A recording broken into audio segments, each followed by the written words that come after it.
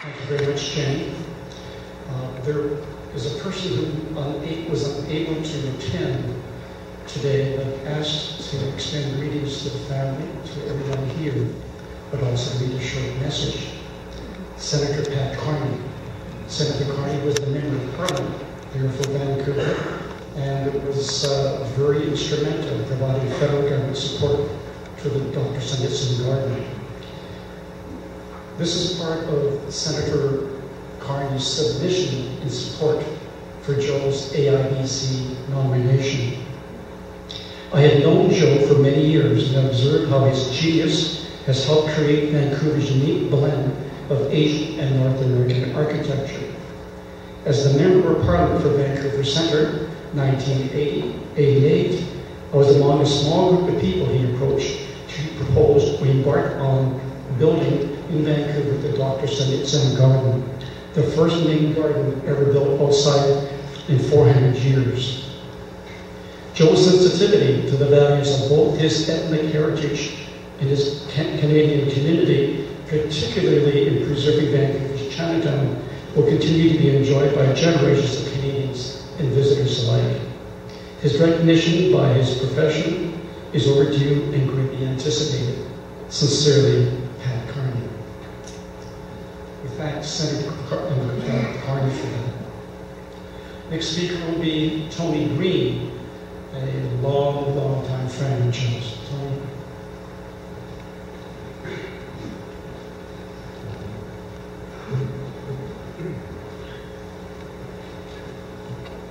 Joe is my friend. My life has been intertwined with his, really, uh, for many years. We studied at UBC. We traveled to Mexico. We went to London, England, separately, but were there at the same time and saw each other frequently. We returned to Vancouver, both worked at Thompson Berwick and Pratt Architects, and worked together subsequently in shared office space until I retired. Joe was my leader, and my patron. He was witty, smart, talented, aware, connected to his community, heritage, both as a Canadian, as a Chinese person. I'll just share a, a few memories. Uh, September 59, first year architecture, 58 years ago.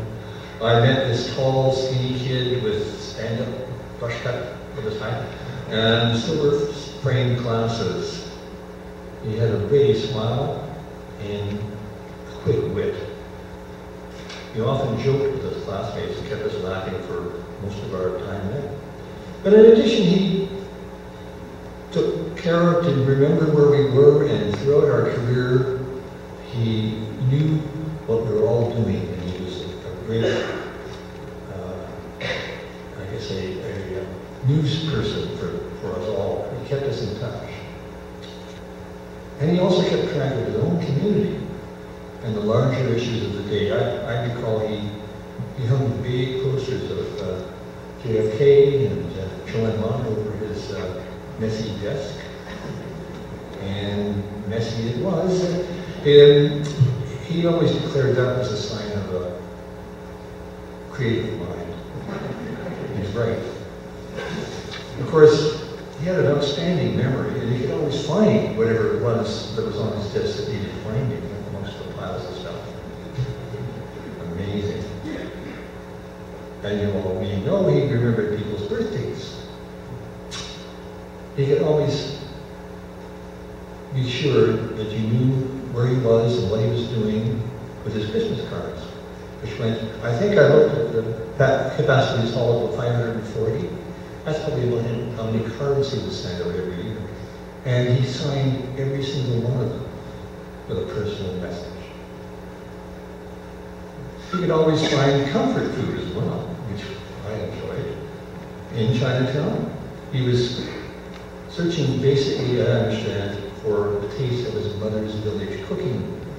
And so we would lead us down to the Ho Ho restaurant. And uh, of course, he, he used the lunch hour to chat with people at other tables and get all the news about the neighborhood. On one Friday, I had arrived early and uh, sat at the usual table. And the uh, shooed me away. No, that's Joe Wai's so he was already a community institution. So I feel very fortunate that I have sat at Joe's table over the many years. It's been a great privilege. His intelligence, wit, talent, commitment are with me always. I am indeed fortunate to have known this man, and I thank him very much. Thank you, Joe.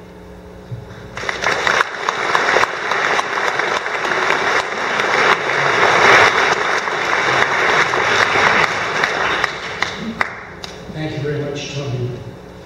And this speaker is Professor Henry Yu.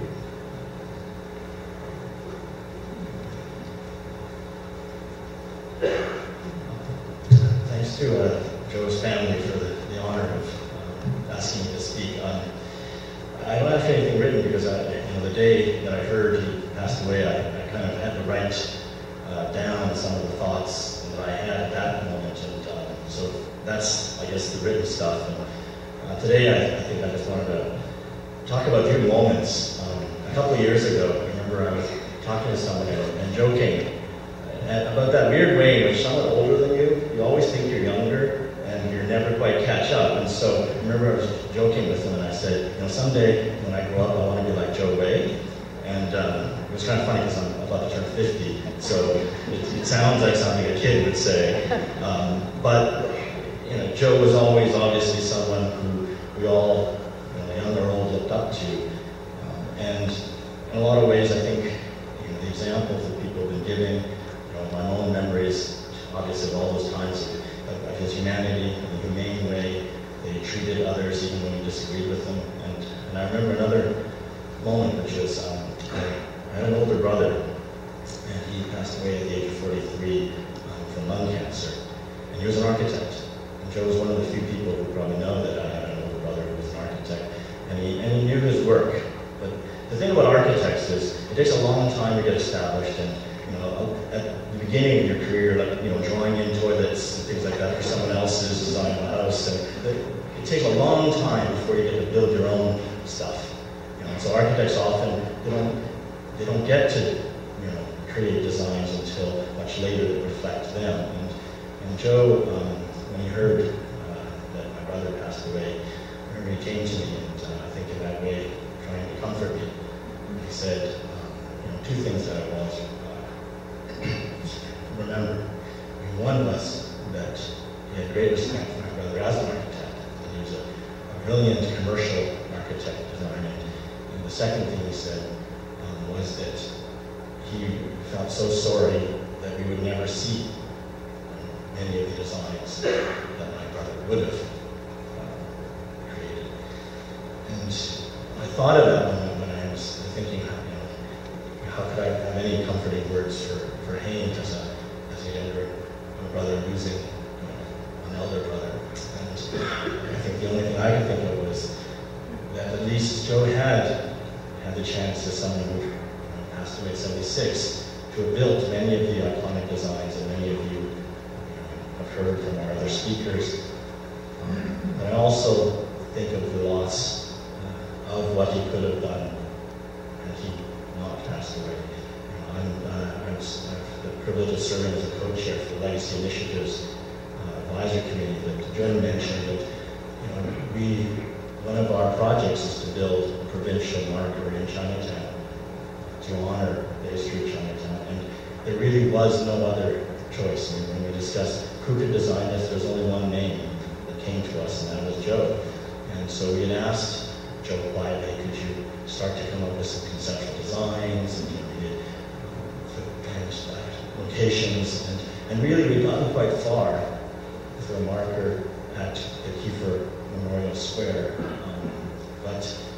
Um, but it's, it's now as one of those designs that perhaps is one of the losses that we have. And I, I guess that last thing I'll say is, you know, if there's a lot of architects in here, there's a lot of people who work with Joe and you know Marilyn in his office.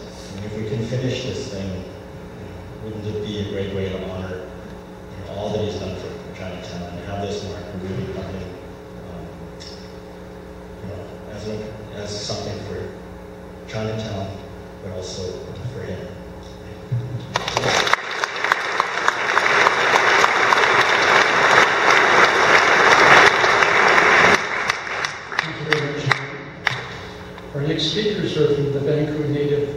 Housing Society, Eddy, CEO, Joseph McLean. When I asked Dave, could he say a few words, and Dave, please keep it short. He uh, decided to bring Joseph along so we could double our time.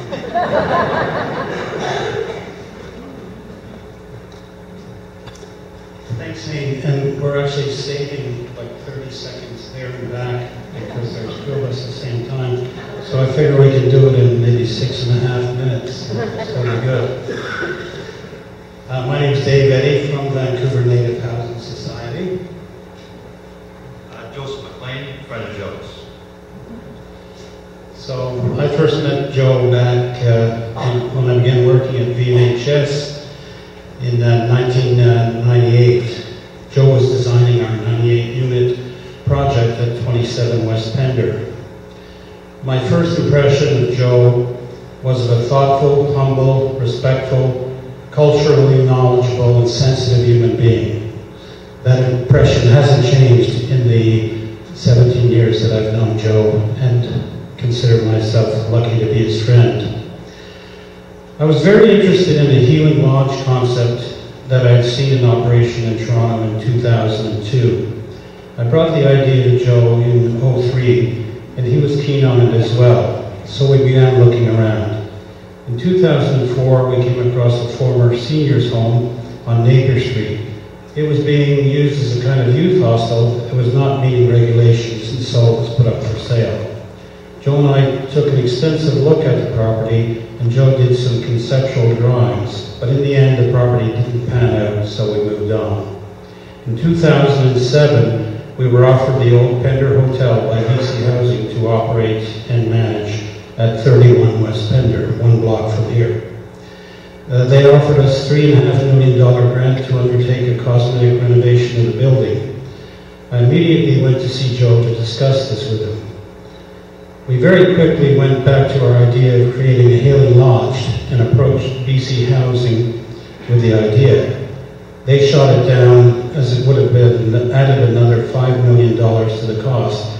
And as this was at the height of the financial crisis, they told me they didn't have that kind of money. Undeterred, we carried on with our planning and kept going back to BC Housing, who kept rejecting us.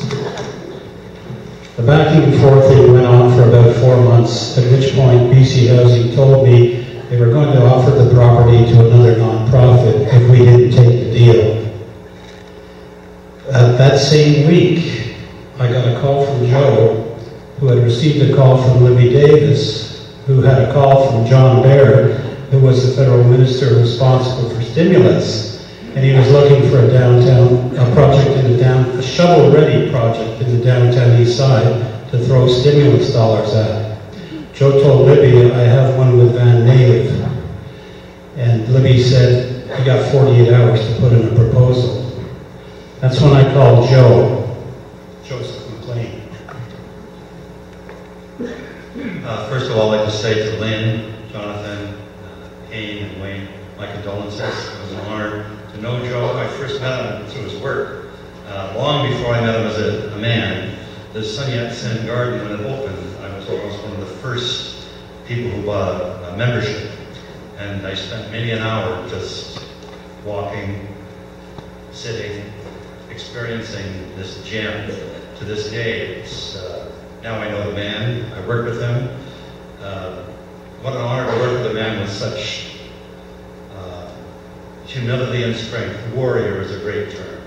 He taught me that it's easier to uh, turn someone with a kind word than a harsh one. In my dealings with the city of Vancouver to try and do some of the cultural enhancements for the Skwachàys Lodge, those words uh, help more than anything kind word. So when that phone call came in, Joe said, yeah, we've got one just down the block. We got it in 48 hours. We got the money. And there it is, a testament to a vision that, if you look at the building next door, 12 years before, he built it with the same look of the brick. And 12 years later, somehow, by design or by creative intelligence, that facade of the Skwachàys Hotel with that magnificent vision, of a longhouse and a pole stands as an amazingly stunning achievement and will stand for a long time. So it's been an honor. Um, he was a true visionary and absolutely a man of the community. God bless you, Joe, and thank you.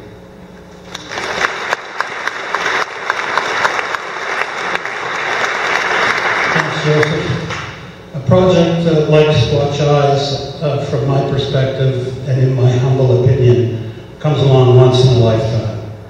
And uh, I was very fortunate to be there at that time.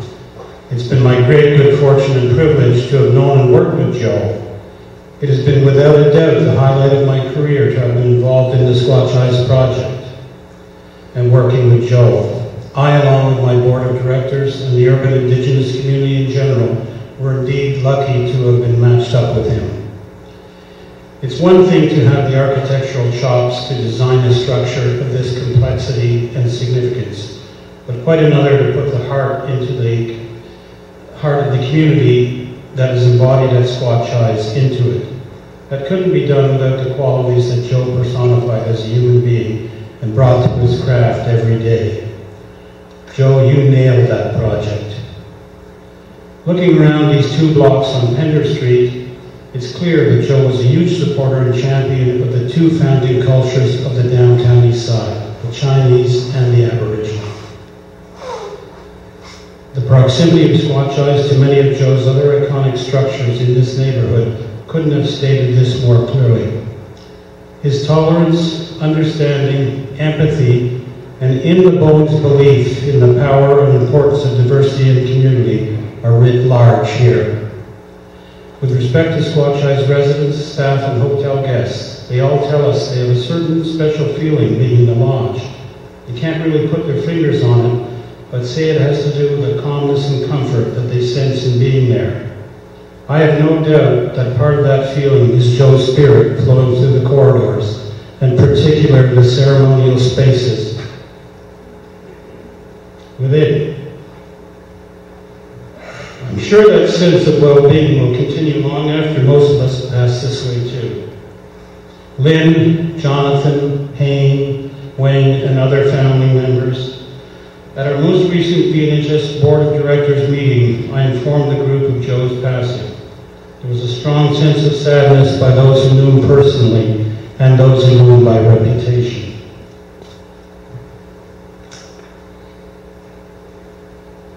The board asked me to convey their condolences to you.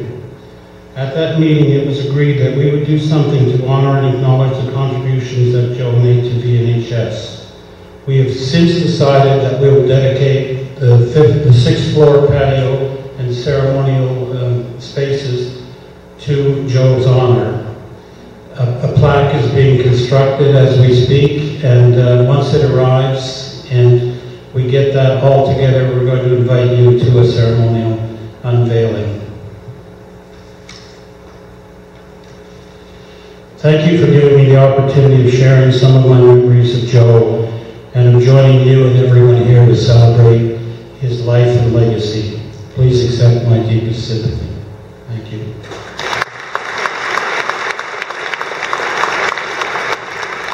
Next speaker is cousin Fiona Lamb. Just before I call Fiona up, the following speaker is Kim K. Lee. Kim K., I know you're here. Could you please come up to the side? Fiona? Thank you very much.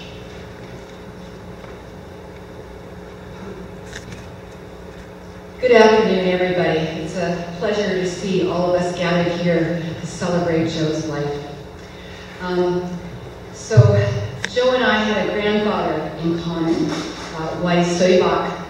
And it's on behalf of my mother and other family members who grew up with Joe in Hong Kong and Macau that I've been asked to say a few words about Joe's early life and his formative years. Joe was born in Hong Kong in 1940 and grew up during World War II.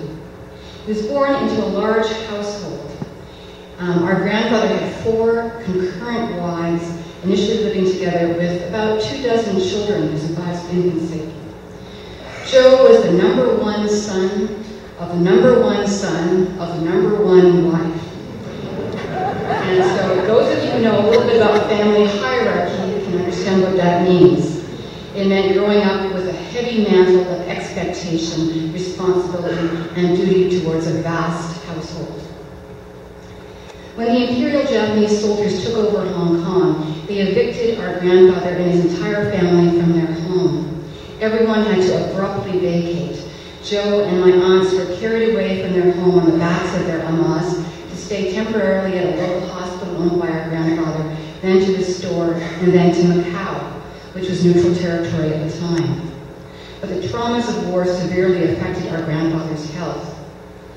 Joe told us often of his vivid memories of being taken to our grandfather's sickbed and of the tumult and confusion in the household when our grandfather, the patriarch, passed away at the premature age of 52, and feeling all eyes upon him and the weight of that expectation on his shoulders when he was just a preschooler. Anyways, after the war, um, Joe grew up uh, playing with my aunts and uncles. Um, my aunts and uncles were the, from the fourth wife, so they were around uh, his age. And uh, they even played ping pong on the dining table. That's the reason why he's a champion uh, later on in life and also a tennis uh, player. But one very clear memory that my aunts have is that uh, Joe was a collector of comic books. And one of his favorite heroes was Superman. Uh, but he had to leave all those comic books behind when he left with his family uh, to Vancouver. He leave his beloved collection of Superman comic books behind. But he and his family started a new life in Vancouver with that mantle of duty and responsibility still on his shoulders. But just like his undercover hero, Clark Kent, he grew up to become a quiet hero and defender of community, which you just heard from so many people. Um, working alongside so many dedicated individuals, many of whom are in this room today.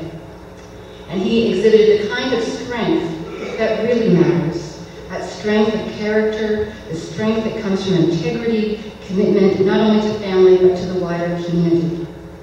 And just like that quiet superhero he admired, Joe possessed a kind of X-ray vision, you could say, seeing right into the beating heart of our fine city, about the need to develop and build affordable family housing, about the necessity and importance of preserving, protecting, and promoting Chinese Canadian history and heritage in Vancouver and in Canada as a whole for both present and future generations. And that commitment never lagged. In fact, as many as you know, just the day before he went to hospital, uh, before he passed away, he attended a community meeting to protect Chinatown heritage. I'll close by saying this. Whether uh, as a Daigoba, big brother, a husband, a father, a cousin, a mentor, a friend, a colleague, or a citizen, Joe has left an impressive legacy, not just in terms of the structures he designed and his talent, but also as a role model of commitment, caring, and social responsibility. All of us who are gathered here today in this room are grateful to him and hopefully will work together to continue his vision. Thank you very much.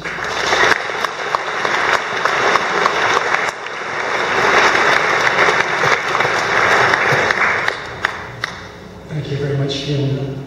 Our next speaker is Kim K. Lee, who's a former uh, staff member of Joe Wai Architects. Kim K has come in from London, England, to share in our celebration today.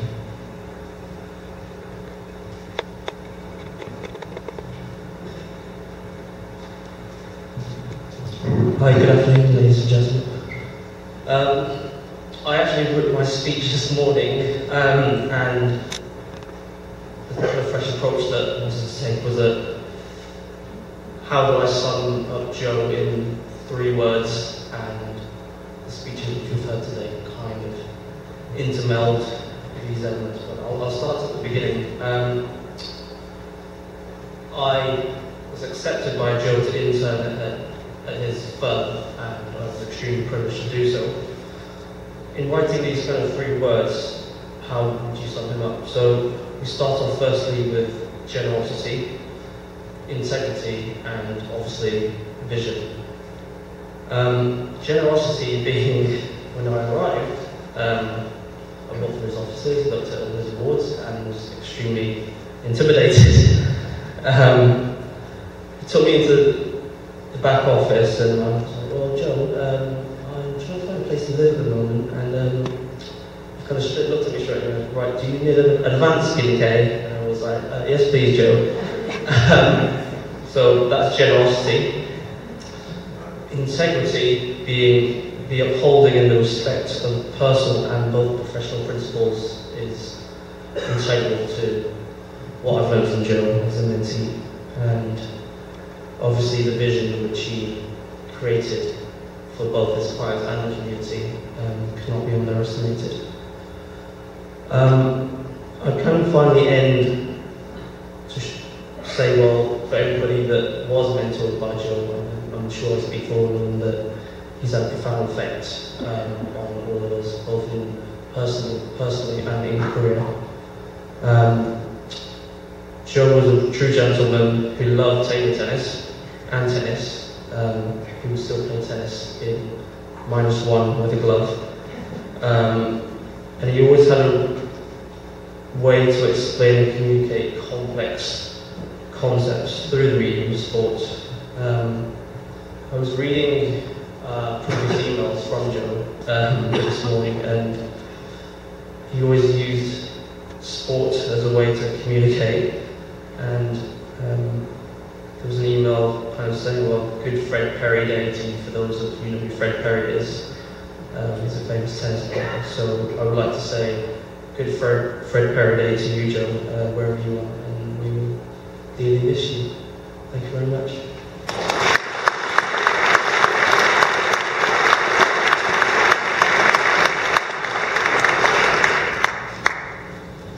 Thank you very much, Kim We have one last speaker, then I have some concluding remarks.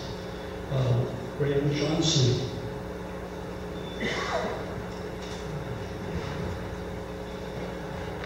While Graham is coming up today, Jan Walls, Professor Jan Walls, was going to conclude uh, today with his Chinese Clapper tale, the Ben Van Joe.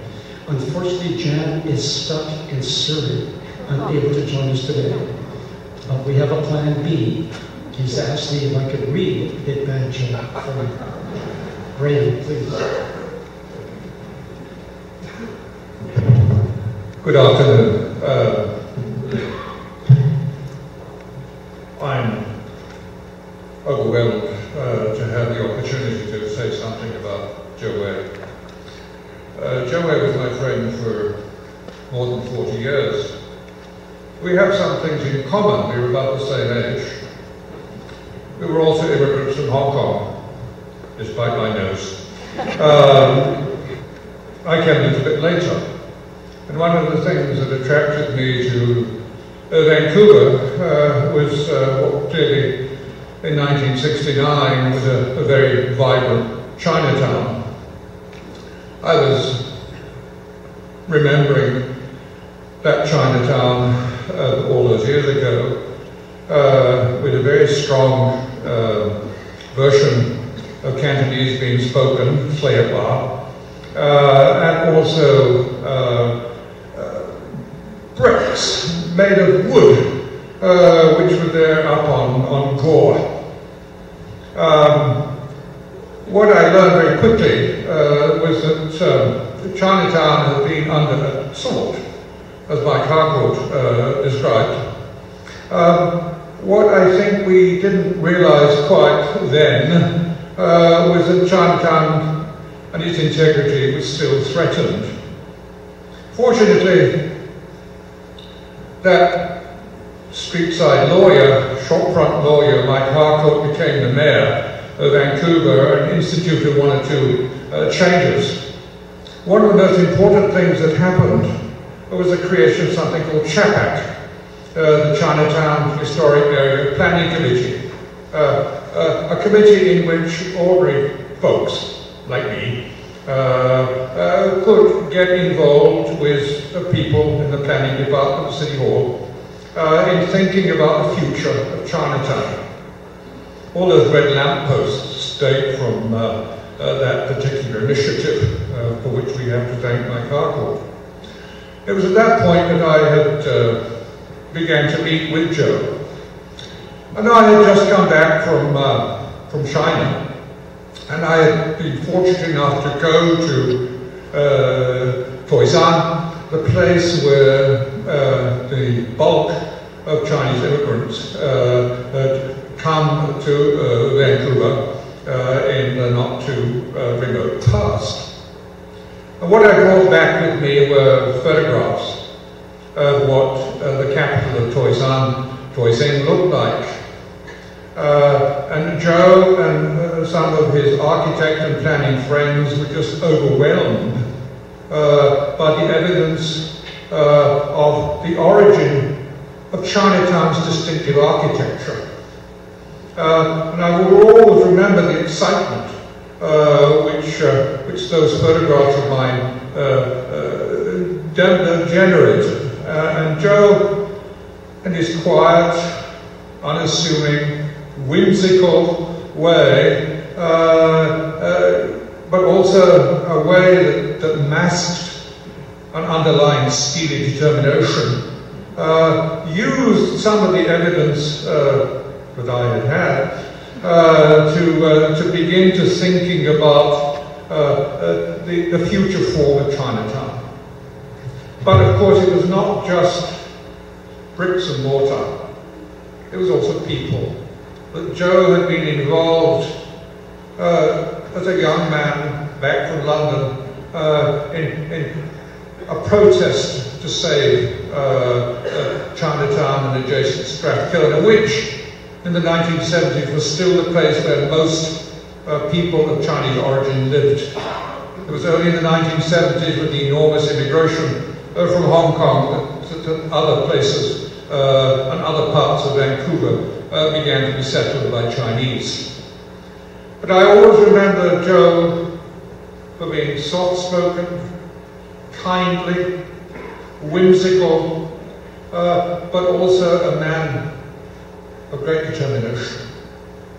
I shall miss him as I shall miss every Christmas those most beautiful Christmas cards that he sent with his drawings. Thank you, Joe, for all you have done, me, and for the Chinese community.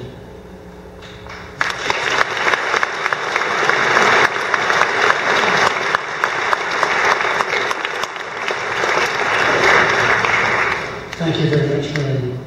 As I mentioned, our plans were to conclude with Professor Jan Walls doing a clapper tale, Big Bad Joe. He first uh, performed his clapper tale at the Chinese Canadian Historical Society dinner in 2012, and more recently last fall at the AIBC uh, Lifetime Achievement. For those who are not aware, the clapper tale is a very traditional Chinese street folk tale.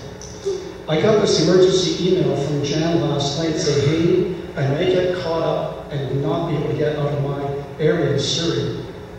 You need to plan for plan B. Plan B, Mike, right? Plan B. So I started rehearsing it last night. now, I'm not going to try to do this, to do this, but I do want to conclude with, with Jan Walls' Big Bad Joe. Every morning in the office, you can see him arrive about 5 foot 11, weighing 155 kind of broad at the shoulders, narrow at the hip. Everyone knows you don't give no lip to Big Joe. Big Joe. Big Bad Joe. You want to join me in that Big Bad Joe? That's okay. he came as a little kid from Hong Kong. Maybe that's what made him so tough and strong. Always sensitive to right and wrong. He doesn't talk much, kind of shy, kind of quiet. But when you see him smile, just say hi to Big Joe. Big Joe. Big Bad Joe. It was back in the 60s, you may recall, when Strathcona faced the biggest challenge of all. The highway planners were up to no good, got to flatten and demolish the whole neighborhood. Neighbors were praying and hearts beat fast, thinking the neighborhood was breathing its last, but not Joe. Oh no, not big bad Joe. He said, This ain't gonna happen if I have my way. It'll be my way or the highway. So he joined the movement, and they saved the day, and the whole community all joined hands, and the whole Strathcona demolition plan was kicked all the way to the promised land. By a money little neighborhood resistant band, and Big Joe. Yeah, Big Bad.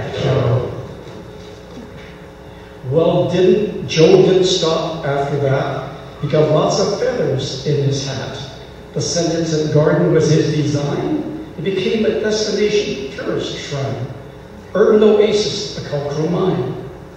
He designed the Chinatown Millennium Gate. His creative juices just don't abate. A cultural center, museum and archives, recording, exhibiting, enriching lives. Chinatown Plaza and its big arcade turned a parking nightmare into the made in the shade. He's an honorary doctorate from the Emily Carr Lifetime Achievement Service Award. With a record like this, you think he'd be bragging, but no way. Joey's a modest dragon. Big Joe. Big Joe, big bad Joe. Once you get to know him, you become a fan. He's a man of millennium, a modern man. He's picked up, linked, downloaded, inputted, outsourced, hotwired, upgraded, downsized, and of course, he's hyperactive, interactive, in your face, with a prominent place in every database. Big Joe. Big Bad Joe. He can't take it slow, can't go with the flow, can't ride with the tide, gotta glide to his own stride. He lives behind the eight ball, ahead of the curve. He's 10% body fat and 90% nerve. A raging workaholic and a working rageaholic. He can be a rude dude, but he's a real deal. He's tough, he's rough, he's hard to bluff. You can't shut him up, you can't put him down. So don't even think about messing around with Big Joe. A real pro. Way to go, Big Joe. I'm sure this doesn't need to be said, but Joe, don't please let this go to your head. We want you to stay just the way you are, a modest, low-key superstar. Big Joe, Big Joe, Big Bad Joe.